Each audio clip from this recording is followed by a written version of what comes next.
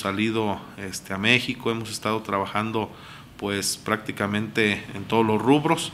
donde tenemos gestión de alrededor, de 200 millones de pesos, donde pues estamos picándole. Por ahí todavía hay un, un,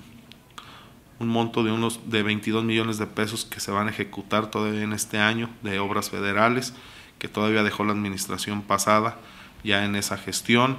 Y pues estamos buscando la forma de, traer una empresa, va muy avanzada, una empresa agrícola, es una empresa canadiense que se dedica al cultivo de fresa. Y estuvimos en pláticas con, con los ejidatarios de la colonia Lázaro Cárdenas, donde vamos a generar alrededor de 500 empleos directos, este, con una inversión alrededor de 12 millones de pesos que van a invertir estas personas y pues prácticamente ya nada más es cuestión de cerrar ya o de, de este, afinar algunos detalles.